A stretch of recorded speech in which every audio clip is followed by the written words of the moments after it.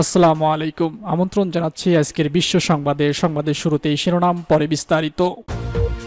আফগান ভূমিতে তালেবানের বিরুদ্ধে লড়াই প্রস্তুত এনআরএফ। তালেবান নিয়ে পুতিনের সঙ্গে মোদির ৪৫ মিনিট ফোন আলাপ।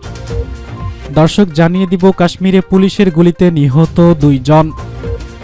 দর্শক, আরও জানিয়ে দিব, ফিলিস্তিনি কিশোরীকে গুলি করে হত্যা করল ইসরায়েল।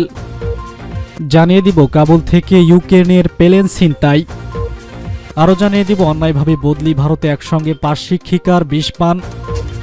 সর্বশেষে জানিয়ে দিব, আফগানিস্তানের শান্তি প্রতিষ্ঠায় যে কোনো প্রচেষ্টার সহযোগিতা করবে ইরান, বলছে প্রেসিডেন্ট রাইসি।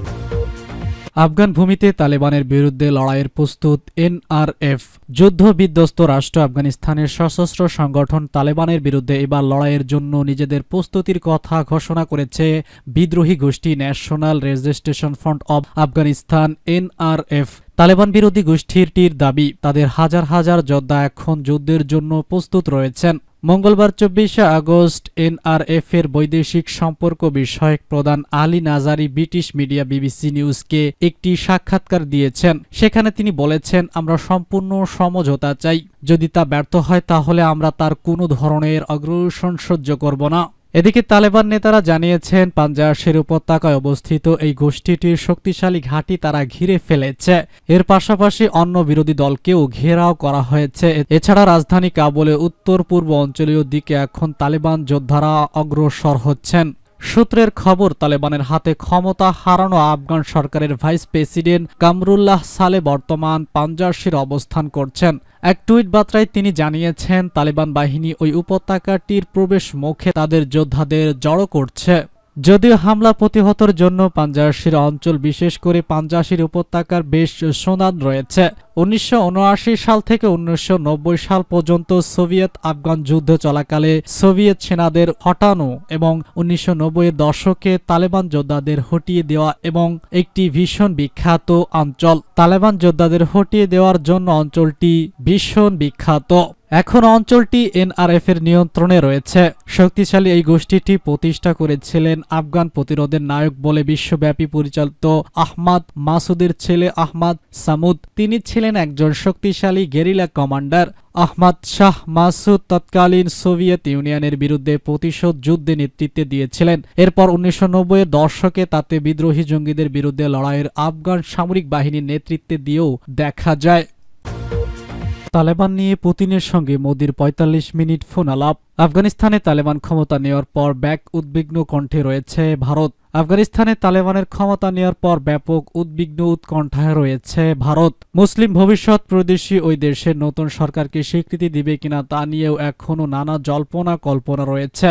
এই উদ্বেগের মাঝেই মঙ্গলবার আফগানিস্তান ও তালেবান নিয়ে রাশিয়ার প্রেসিডেন্ট ভ্লাদিমির পুতিনের সঙ্গে কথা বলেন ভারতের নরেন্দ্র মোদী। পঁয়তাল্লিশ মিনিট ধরে বিস্বাদ আলোচনা হয়। দুই প্রধানমন্ত্রীর মধ্যে এ খবর জানিয়েছে ভারতীয় সংস্থা এনআই। এর আগে গতরাতে জার্মান প্যালেসেল অ্যাঞ্জেনা মার্কের সঙ্গে আফগানিস্তান সহ একাধিক ইস্যুতে ফোনে কথা বলেন প্রধানমন্ত্রী নরেন্দ্র মোদী। হিন্দুস্তান টাইমস জানায়, রাশিয়ার জঙ্গি সংগঠন হিসেবে তালেবান তালিকাভুক্ত থাকলেও বর্তমানে আফগানিস্তানে যুক্তরাষ্ট্রের পরাজয়ে কিছুটা আনন্দ দেখাচ্ছে রাশিয়া। আফগানিস্তানের নিযুক্ত রাশিয়ার রাষ্ট্রদূতকে বলতে শোনা যায় যে, তালিবানি শাসনে আগের সরকার যে বেশি ভালো উপস্থিতি কাবুলে, অনেকেই ধারণা করছেন তালেবানের সঙ্গে হাত মিলিয়েছে রাশিয়াও। খবরে আরও বলা হয় ইতিমধ্যে চীন জানিয়েছে যে তারা তালেবানের সঙ্গে গুরুত্বপূর্ণ সম্পর্ক চায়। কান্দাহারে গিয়ে মোল্লা বারাদারের সঙ্গেও কথা বলে এসেছেন আফগানিস্তানের নিযুক্ত চীনা দূত। কাশ্মীরে পুলিশের গুলিতে নিহত দুই। ভারত নিয়ন্ত্রিত কাশ্মীরে শ্রীনগরে একটি বিচ্ছিন্নতাবাদী দলের শীর্ষ কমান্ডার ও তার একটি সহযোগী পুলিশের সঙ্গে গোলাগুলিতে নিহত হয়েছেন।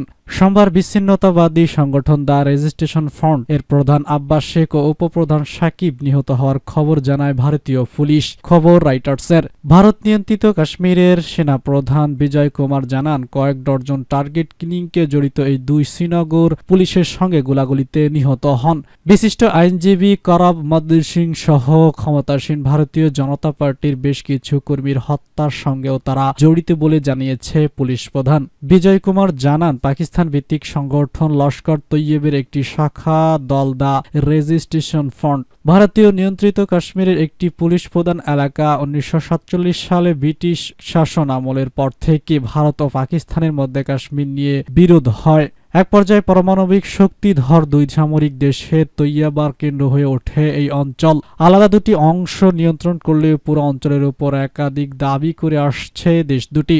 কাশ্মীর নিয়ে দুই দেশের এই দুই বিরোধ গত তিন দশকের সহিংসতায় পঞ্চাশ হাজার মানুষ নিহত হয়েছেন। ভারতের যোগাযোগ, পাকিস্তানের মদতে মুসলিম বিচ্ছিন্নতাবাদী সংগঠনগুলো ভারতীয় নিরাপত্তা বাহিনীর সঙ্গে সংঘাত চালিয়ে যাচ্ছে। অন্যদিকে পাকিস্তান বলছে, হিমালয় এই অঞ্চলে তারা কেবল মুসলিমদের রাজনৈতিক সমর্থন দিচ্ছে। ফিলিস্তিনি কিশোরকে গুলি করে হত্যা করল ইসরায়েল। ফিলিস্তিনি এক কিশোরীকে গুলি করে হত্যা করল দখলদার ইসরায়েলি বাহিনী। পশ্চিম তীরে নাবলাসের কাছে একটি শরণার্থী ক্যাম্পে ইসরায়েলি বাহিনী গুলি চালিয়েছে। পনেরো বছর বয়সী ওই কিশোরী নিহত হয়। ফিলিস্তিনি স্বাস্থ্য মন্ত্রণালয় জানিয়েছে, মঙ্গলবার ইমাদ খালেদ সালাহ হামাস নামের ওই কিশোর নিহত হয়েছে। বালাতাপ শরণার্থী শিবিরে থাকা ওই কিশোরের মাথায় গুলি লেগেছিল খবর আল জাজিরার। এদিকে ইসরায়েলি বাহিনী জানিয়েছে, তারা ওই শরণার্থী শিবিরে এক সন্দেহভাজনকে আটক করতে রাতভর অভিযান চালিয়েছে। তাদের দাবি, অভিযানের সময় বিভিন্ন ভবনের ছাদ থেকে তাদের লক্ষ্য করে গোলাবারুদ নিক্ষেপ করা হয়। এর জবাবে ইসরায়েলি বাহিনীও পাল্টা গুলি চালায়। ফিলিস্তিনি গণমাধ্যমের খবরে জানানো হয়েছে, ইসরায়েলি গুলিতে কিশোরীর মৃত্যুর ঘটনায় শোক প্রকাশ করেছে গাজা পতাকার নিয়ন্ত্রণ থাকা ইসলামী প্রতিরোধ আন্দোলন হামাস। বালাতা ক্যাম্পে ইসরায়েলি অভিযানের বিরুদ্ধে ফিলিস্তিনির প্রতিরোধের ঘটনায় প্রশংসাও করেছে এই সংগঠন। পশ্চিম তীরে প্রায় ইসরায়েলি বাহিনীর হাতে ফিলিস্তিনি নাগরিকের হত্যার ঘটনা ঘটনা ঘটছে। এর আগে চলতি মাসের শুরুতে জেনেনি শরণার্থী শিবির ইসরায়েলি নিরাপত্তা বাহিনীর গুলিতে চার ফিলিস্তিনি নিহত হয়। ইসরায়েলি বাহিনী জানিয়েছে, গাজা পতাকায় হামাসের অস্ত্র উৎপাদনকারী প্রতিষ্ঠান একটি সুড়ঙ্গ এবং লঞ্চার লাইট লক্ষ্য করে রাত সিরিজ বোমা হামলা চালানো হয়েছে। কাবুল থেকে ইউক্রেনের পেলেন ছিনতাই আফগানিস্তানের রাজধানী কাবুলে অবস্থানরত ইউক্রেনের নাগরিকদের উদ্ধার করতে যাওয়া একটি প্লেন ছিনতাই করা হয়েছে। মঙ্গলবার অজ্ঞাত ব্যক্তিরা ওই প্লেনটি ছিনতাই করে ইরানে নিয়ে গিয়েছে। ইউক্রেনের উপ পররাষ্ট্রমন্ত্রী ইয়েভগিন ইয়েভগিন ইয়েমিন বরাদ দিয়ে এই তথ্য জানিয়েছে রাশিয়ার বার্তা সংস্থা তাসনিম নিউজ এজেন্সি। ইয়েতি এমনি বলেছেন, মঙ্গলবার তারা আমাদের একটি প্লেন চুরি করে নিয়ে গিয়েছে। ইউক্রেনের নাগরিকদের উদ্ধারের জন্য ওই প্লেনটি পাঠানো হয়েছিল, কিন্তু ইউক্রেনের নাগরিকদের বদলে তারা যাত্রীদের নিয়ে বিমানটি অন্য কোথাও পাড়ি দিয়েছে। তিনি আরও বলেন, আমাদের অনেক লোকজন বিমানবন্দরে পৌঁছাতে পারছে না, ফলে উদ্ধার অভিযান ব্যবহত হচ্ছে। ইউক্রেনের উপ পররাষ্ট্রমন্ত্রী বলেছেন, ছিনতাইকারী সশস্ত্র ছিল। তবে ছিনতাই হওয়া প্লেনটি পুনরুদ্ধারে কিয়েভ কি ধরনের পদক্ষেপ নিচ্ছে সে বিষয়ে তিনি কোনো মন্তব্য করেনি গত সপ্তাহে তালেবান আফগানিস্তানের নিয়ন্ত্রণ নেওয়ার পর থেকেই সংযুক্ত যুক্তরাষ্ট্র, যুক্তরাজ্য, জার্মানি, ভারত সহ বিভিন্ন দেশ তাদের লোকজনকে সেখান থেকে দেশে ফিরিয়ে নিতে শুরু করেছে। এরই মধ্যে হাজার হাজার মানুষ আফগানিস্তানে ছেড়েছে, এমনকি বহু আফগান নাগরিক দেশ ছাড়তে মরিয়া হয়ে উঠেছে। অন্যায়ভাবে বদলি ভারতে একসঙ্গে পাশ শিক্ষিকার বিষ পান।